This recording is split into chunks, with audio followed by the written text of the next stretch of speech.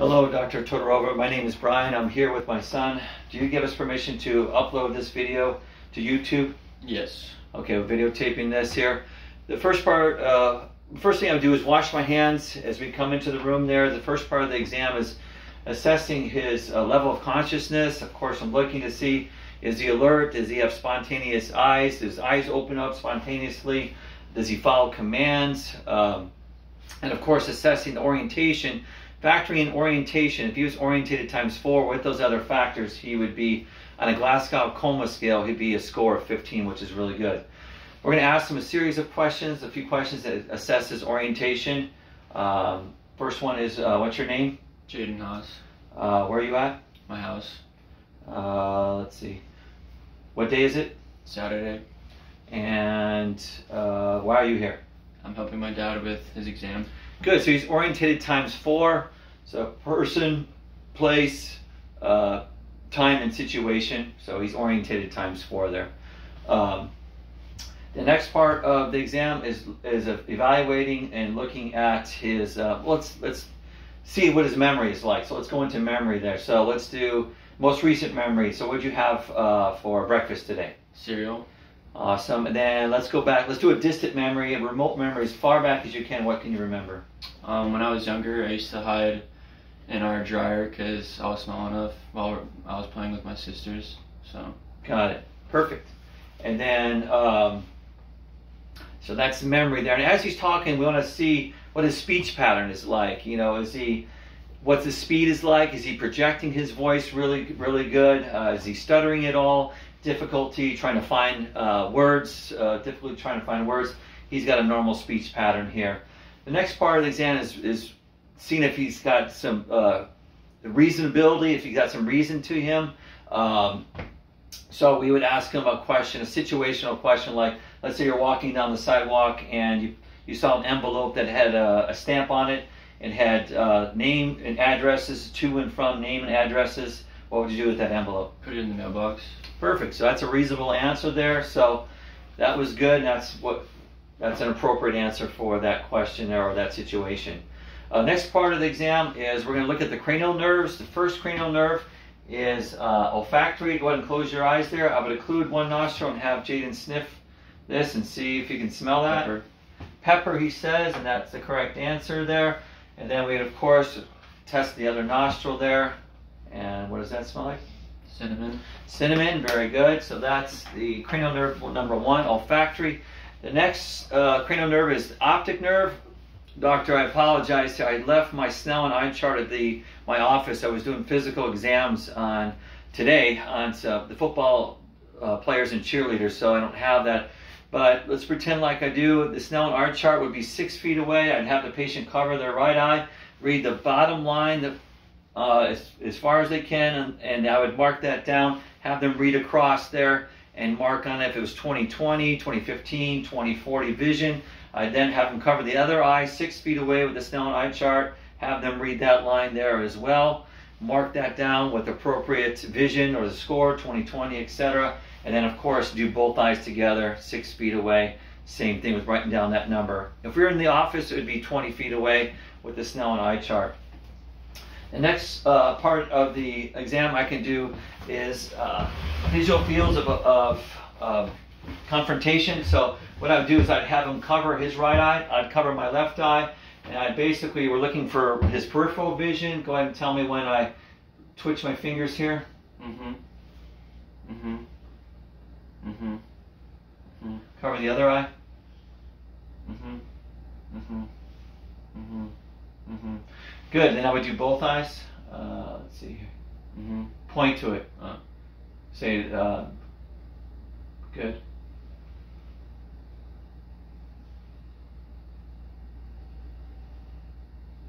Good. So that's uh, visual fields of accommodation. We could also uh, check convergence there. I'd have him watch the follow the tip of this marker there to see his eyes converge and see the pupils constrict. His do. Um, with convergence there. The next part of the exam is using the ophthalmoscope and assessing, looking, uh, it's a fundoscopic exam here. We're going to go ahead and turn this on. With this part of the exam, I would use my right eye to his right eye, stabilize his head with the opposite hand, Uh, two fingers are holding it. I'm using these three fingers for protection and safety. And as I come in, I'm using right, right eye. Follow the red reflex all the way in there. We're looking at the red reflex, looking at the blood vessels, see if there's any AV nicking, any cotton wool spots, and we trace that over, follow that over to the optic disc. That disc to cup ratio should be one third to one half uh, when we're assessing that. And then looking at the other eye, we use uh, my left, we're looking my left eye and his left eye, stabilize with the opposite hand. Safety with these three fingers to make sure it's not jamming into his eye there. We come in with my left eye, same thing, looking at the red reflex, looking for uh, any AV nicking, cotton wool spots, trace that over to the disc. That disc cup ratio again should be one third to one half there. Uh, the next part of the exam uh, is we're going to uh, look at his. Um, let's go to the next cranial nerve actually. Oh, we do. Sorry. Same thing. We're with cranial nerve number two is optic. We're going to do direct and consensual light reflex. Go ahead and look straight ahead there. We're going to look into his pupils there and see. We can see one uh, close off there. And then if we look at the same pupil, the other one should constrict, and that does. And we do the op opposite one there. We're going to look and see at that pupil there. That's the direct. And if we look at the opposite, that's the consensual light reflex. And I wanted to make note, when we do the, it's really bright in here. When we do these exams, especially with the fundoscopic exam with the ophthalmoscope, the light would be dim so we could see the red reflex and the disc and uh, and the optic nerve really well there. So the light would be dimmed for that purpose there. Um, the next uh, cranial nerve is cranial nerve number. We're, we're going to assess for the uh, cardinal fields of gaze, and that's cranial nerve number three, oculomotor number four, trochlear, and then of course number six is abducens. With oculomotor, that's testing all the external uh, ocular movements except for medial, lateral, and then down. Um, ocular, I mean, um, cranial nerve number uh, four is trochlear. That's assessing uh, medial and down, the, uh, the ocular or eye movements, medial and down. And then number six, cranial nerve number six, is assessing the lateral movements of the eye there. So with, the, with those six cardinal fields there, we're just going to have the patient trace this marker here, and we're looking for and seeing if he's got any nystagmus, which is involuntary movements of the eye. He traces really good in all of those patterns there. Of course, I'd go like that, all the way up, good, and good there. And then the uh, the next cranial nerve is the trigeminal. The trigeminal has three branches there. It branches off right up here into the forehead here. Then we got the the cheek, and then the jaw there. So we're going to test all three with sharp versus dull. We're going to take a, um, a uh, Q-tip, and we're going to see if he can tell the difference bilaterally, right, right and left, in all three um, centers there. The forehead, the, uh, the cheek, and then the jaw there. So you tell me if it's sharp or dull there. Dull. Sharp. Dull sharp, sharp, dull, sharp, dull, sharp. Great. So the trigeminal nerve, um, there is we're also going to we're also going to check to see his jaw. Let's see him open up his jaw there. There's a trigeminal nerve there. Good. So so we got three, four, and six. Uh, cranial nerve number five is um, the uh, facial, sorry, the facial nerve. So we want to look at the facial nerve there. And to assess the facial nerve, we're going to have the patient, uh, we do is have the patient uh, frown. There you go. Raise the eyebrows there. You can see them go like that. Go ahead and smile. There you go. And then puff out your cheeks Good. That's cranial nerve number five there and facial. And then the next nerve is cranial nerve. Um, no. I fucked that up.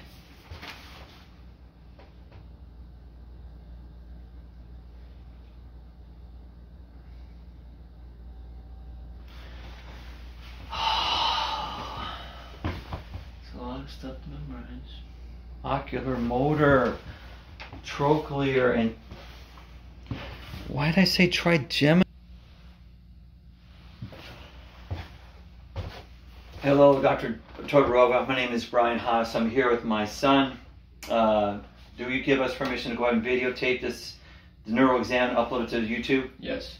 Awesome. Thank you so much. Then what we do is we first start off, of course, we wash our hands before we came into the room. As we come into the room, we were trying to assess his level of consciousness. We're looking to see does eyes open spontaneously? Does he follow commands? Yes or no? Um, is he alert? And what's his uh, orientation? Um, if he's oriented times four with those other components, he would be on a Glasgow coma scale, a score of 15, which is awesome. So assessing his orientation, I'm going to ask him a few questions. The first is, uh, what's your name? Jaden, Uh, where are you at? my house. Uh, what day is it? Saturday. And uh, why are you here? I'm helping my dad with his exam. Good. So he's orientated times four, and that's awesome. Person, place, time, situation, or event. Uh, the next part, and as he's talking, we want to um, assess his speech. What's his speech like? Is it is it pronounced? Is he is, is he uh, vocal with his speech? The the pitch of it, the speed of it. Uh, is he slurring his words? Is he have difficulty remembering his words, etc.? He's got a normal speech pattern, which is awesome. The next part of this exam is we want to assess his memory. Let's do uh, short-term memory, uh, recent memory. Uh, let's ask him a question like, "What'd you have for breakfast?" Um, cereal. Awesome. And then, so remote memory is a distant memory. The most distant memory you can re- memory you can remember. What what would that be? Um, I remember I used to hide in our dryer in the other room, Right. which was like a hiding spot. How old were you? I'm like five. Awesome. Uh, I can attest to that because I remember that. Uh, the next part is just testing his reasonability uh, to a situation or event, let's say. Let's say you're walking down the sidewalk and you see an envelope on the sidewalk and it's got a stamp on it and it's got a to and from names and uh, addresses to and from. What would you do with that envelope? Put it in the mailbox. That's a reasonable answer. That seems like uh, something that I would do as well, so that's good. Um, the next part of the exam is we're going to uh, assess his cranial nerves. I want you to, to uh, close your eyes there. The first cranial nerve is the olfactory. We're going to close off one nostril and see if you can smell this. Pepper. Good. And we're going to close off the other nostril, see if you can smell this. Cinnamon. Good. So that's uh, olfactory. The next uh, nerve is cranial nerve number two. That's the optic nerve. I want to apologize, Dr. Todorova. I forgot my Snellen eye chart at the office. I was doing physical exams on uh, the athletes from the high school, football and cheerleading athletes there. Uh, but if I had the Snellen eye chart, I'd hold it. I have a pocket one. I'd hold it six feet away. I'd have the patient close off their right eye and I'd have them read the bottom, the most bottom line that they could read. And as they could read that, I'd make note what the vision was. Was it 2020, 2040, 2015? I'd switch eyes six feet away with the same Snellen eye chart. Same thing, read that, mark and note what the vision was there. And then lastly, Snellen eye chart six feet away with both eyes, mark and make note of the vision there. If I was in the office, it would be 20 feet away, um, measuring the vision there with the optic nerve. Um, the next part is let's we can do uh, is the fields uh, visual fields of confrontation. So we're assessing his peripheral vision. Go ahead and cover your right eye. I cover my left eye. I would I'm to have you uh, let me know when I wiggle my my fingers here in these different. Say yes or Yes. Yes. Yes. Yes. Yes. good. Cover the other eye. I'd cover. He's covering his left. I'd cover my right. So let's do that again. Yes. Yes. Yes. Yes. Good. Now we assess both eyes here. Tell me if it's uh, right or left here. Which one's wiggled? Right. Left. Left. Right. Good. Now let's do it again. Left. Right. Good. And then, um, so that's that's testing all of the peripheral vision there. And then uh, next part of the exams, we want to use the uh, ophthalmoscope. We're checking. This is a fundoscopic exam. The lights would be dimmed in this part of the exam there. As I turn this on, I would use my right eye to his right eye, stabilizing his head with my opposite hand here. Two fingers holding it and three fingers stabilizing it for protection to make sure this is not jammed into his eye there. Using my right eye to look into that, we're trying to look at the cardinal fields.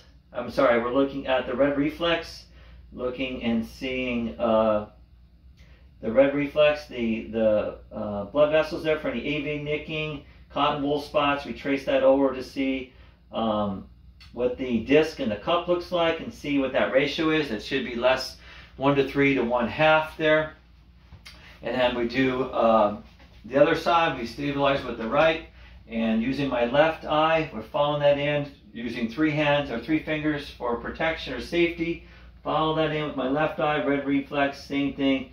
Uh, any AV nicking, cotton wool spots, trace that over at the disc and the cup and that ratio, and marking down that ratio.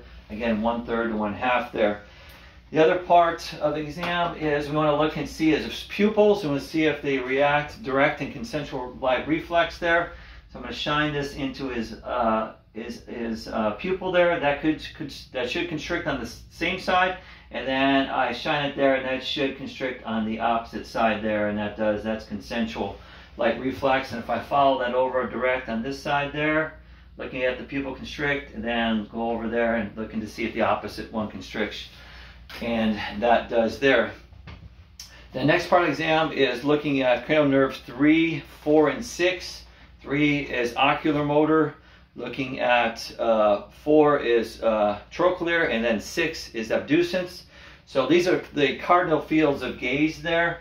Uh, cranial nerve 3 pretty much looking at all the external ocular movements except for medial, lateral, and down.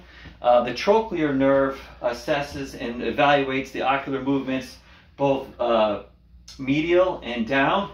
And then the uh, abducens nerve is assessing the ocular movements lateral there. So we want to assess and look at the cardinal fields of gaze, have the patient follow the tip of this marker here. We want to see if there's any nystagmus, how he's following any uh, pursuits. We're looking to see how his eyes are pursuing and looking for any uh, involuntary movements uh, called nystagmus there.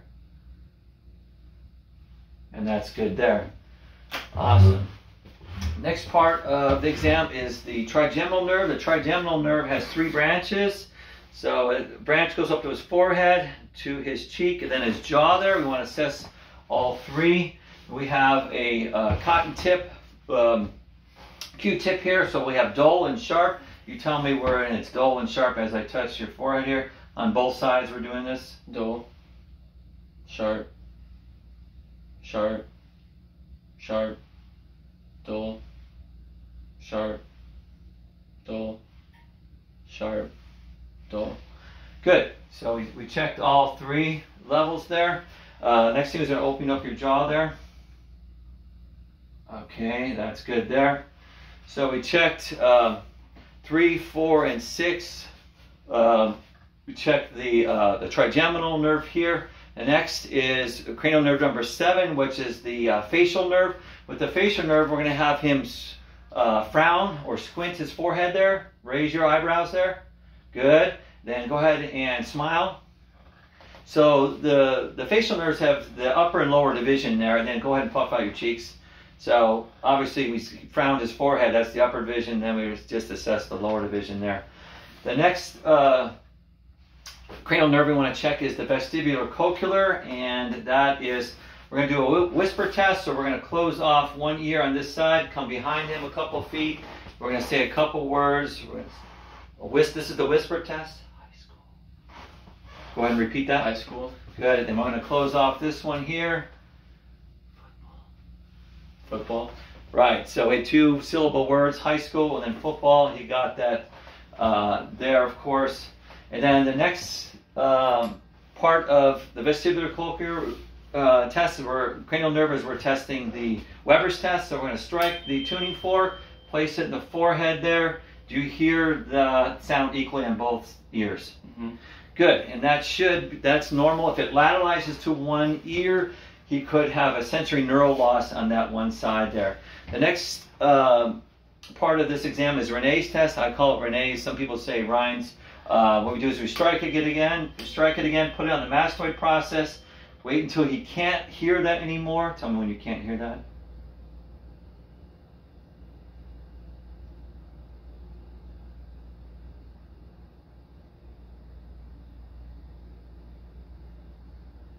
Oh, I can't hear. Can you hear it still? Oh yeah. Okay, so now we can hear uh, air conduction was greater than bone conduction. That's normal. And then we repeat this on the opposite side, uh, do it on both sides. Air conduction should be greater than bone conduction there. That's Renee's test uh, there. Uh, okay, the next part of the exam is the, we're going to assess the um, uh, glossopharyngeal and the uh, vagus uh, nerves. So what we're going to do is we're going to have them open up, open up your mouth, open up your mouth. We're looking at, when we ask the patient to say ah, say ah. Ah. We're seeing the uvula rise there, and then go ahead and swallow there. Let's see you swallow. Swallow. Go ahead and swallow. I can't swallow with my. Okay, go ahead and swallow. Open up again. Good. So that's the glossopharyngeal and the vagus nerve there. And then, uh, okay, very good there. And then the next part, or the next uh, cranial nerve there, is the um, hypoglossal, or sorry, the accessory nerve, which is 11. Uh, so we did 9, 10, vagus is 10, and then the accessory nerve is testing his uh, trap muscles there. Go ahead and lift your, elevate your traps there. Good, and we also want to check the SCMs on the right side here. Go ahead and go against resistance there, against resistance there. It's testing the SCMs on both sides. That's the accessory nerve. The last one's the hypoglossal. Uh, go ahead and stick your tongue out there. Good. Now, uh, so we want to see if it's midline there. With the uh, glossopharyngeal, the uvula should raise and it should raise uh, midline there, and the tongue should uh, come out centrally there, and it does. Okay. Put your tongue into this cheek here. Good. Tongue into this cheek there. Awesome. So we're finished with the uh, hypoglossal there. That concludes the cranial nerves. Then let's go into and we're going to we're going to assess the uh, cerebellum later on because I have to hold the the camera there and we'll follow that. The next part of the exam is we're going to assess um, position sense. So if I take your finger, close your eyes there. Close your eyes. I'm going to take your finger. You tell me if I'm bending it, or if I'm pushing it down or up. Okay. Mhm. So Down. Up. Up. Down. good. Let's do this one. Up. Down. Up. Okay, get your, and then we'll do also, we're to assess his toes there. Close my So eyes. close your eyes. Let's do it with your toes. Is it going down or up? Down. Up. Good. The other one? Down. Up. Good. So that's position sense there. Uh, the next one is we're going to do uh, two point discrimination there. Close your eyes. When I touch you, you got to tell me if there's one point or two points when I touch you. You got it? hmm Okay, so we do upper extremity here. Let's go here. Two points. Good. Two points. That's one. Oh. That's two points. Good. And let's do that again. One point. Good. And let's test this side. Two points. One point. Two points. Good. Let's do the lower extremity. Two points. One point. Two points. Good. Two points. One point. Two points. One point. Good. So that's that was good there. Next one is the stereognosis. We're gonna put close your eyes. Mm-hmm. We're gonna put something in his hands. He's got to see if he can recognize this object there. Coin. Good. There's a coin there. Awesome. The next part of the exam is we're going to assess his upper and lower. Um, so the the cutaneous sensation we want to see, and want to see if he can also uh, identify any painful stimulation. So we have the, cutaneous, the uh, sup, um, uh, the, the surface of the superficial uh, cutaneous stimulation, superficial painful stimulation there. So I have a, uh, Tissue. a tissue and I have a uh, paperclip. You tell me if it's cute, uh, if it's tissue or paperclip. Close your eyes there. Tissue. Paperclip. Tissue. Paperclip. tissue, paperclip, Good. tissue, Lower extremity. paperclip, tissue, paperclip, paperclip, tissue, tissue. Awesome. So we got that there. Excellent. Okay. The next part uh, of the exam is we're going to um, we're gonna that's part that finishes the uh, se- sensory. Now we want to do the motor part there. So we're gonna check his motor strength there. Put your arms up like this here. We're checking the deltoids. Hold strong there. Good. Put your arms up like this. We're checking testing the triceps, biceps. Good. And then we want to check the, uh, I don't know if you can see here, bring your up leg, go ahead and kick forward for me. That's his quad, pull back there. That's his hamstring there. Do this one, uh, kick up, that's his quad, pull back, that's his hamstring. With that, then we want to test the uh, abductors and abductors of his hip. Go ahead and push close there. That's his adductors, and then external rotation of the hip is the abductors there. That's really good there. So we got some really good strength. It should be five plus, and his are all five plus there. Uh, the next part of the exam is um, we want to check and see. Um, oh, we want to check the strength of his uh, fingers. We want to see what his uh, grip strength. Let's do grip strength. Go ahead and squeeze my hands there. Ow. Okay. He's pretty strong. He's squeezing pretty tight there. all right. Close your fingers off. Go like this. Uh, Okay. Uh, Don't let me open up your fingers there. We're testing his finger strength there. Those are all good. Okay, awesome. Now open up your fingers. Now I'm going to try to pinch them together there. I'm going to try to pinch them together, pinch them together. Good. He's got really strong fingers. He works out quite a bit there. He almost crushed my uh, my hands there with his grip strength there. Pretty strong kid. Um, okay, the next part of the exam is we're checking uh, reflexes. So if we test his uh, reflexes, if we can test his uh, biceps reflex there, so we're going to hold this here, and if we press into the biceps, hold the tendon there and just strike it. Strike it. It's, yeah, there's a nice little twitch there. That's the biceps. We hold the triceps there. Let your let your arm just dangle there. We're going to strike the triceps. Good. Awesome. This side here, biceps here. We're going to come into the biceps and just strike that. Good. Triceps there. Hold that. Good. And then we're use the patella here. I don't know if you can see this. The patella, we're striking the patella on the right Oh. side. That was a nice kick. Uh, left side there. And then we come on down. Let's see here. Maybe you can put your leg up here, Jaden. And we want to test the Achilles there. We're striking the, the Achilles there to see if we get a nice little plantar flex, and we do. Good. The other one. We're checking the Achilles there. Good. Let's put this one up. Now we're checking the Babinski reflex. We're going to use the um, reflex hammer and strike the uh, we're going to scrape the bottom of his feet and his toes should curl and then they do that's a normal response in infants less than uh, a year old they'll they'll flare up do this one here okay good go like that and that comes down there like that awesome let's now test some do some cerebellar tests there uh, let's have him see what kind of coordination this young man has i want you to go like that as fast as you can Good. That's good. He's testing his coordination for cerebellum, the back part of his brain. that controls his balance and coordination. Now I want you, this finger here, touch your nose and then touch my finger. But once you touch your nose, you can reach and look at my finger and touch it. Good. Different areas here. Good. Other one.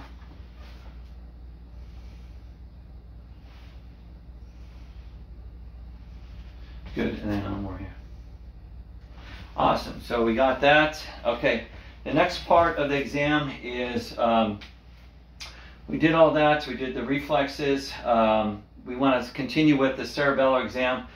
Uh, you know, we have to turn the light on there. Actually, we can do it right here. We're going to have him um, walk. We're going to see him uh, actually. Actually, let's have him stand first. We're going to stand, and we're going to test to see what uh, what is his um, see if he has, has any pronator drift to his as he stands there. Close your eyes there. mm, Good. As he stands there, he should not. His hand should not go into pronation. If I slap him down like that, um, they should stay. They should come back up to, to normal there. So that's normal. The next part of the exam is we're going to have him walk, and it, we're going to check his uh, his gait. As we check his gait, um, let, let me do that. Let's have him walk there.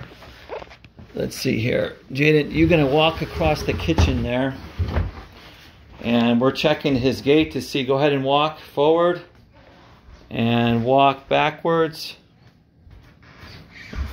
Turn around. Backwards? No. Okay, come towards me again. We're checking his uh, turn face face me, face me. We're just checking his gait to see Okay, good.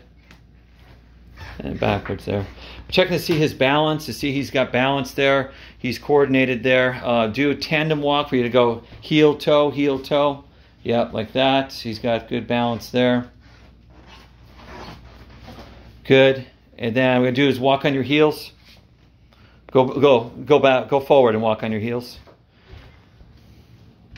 Heels, heels. Oh, heels. I'm. Walk on your heels. And then walk on your toes. Go forward on your toes. Okay. Good. And then I think, let's see, that is it. Um, that concludes the exam. Thank you so much for Dr. Todorova.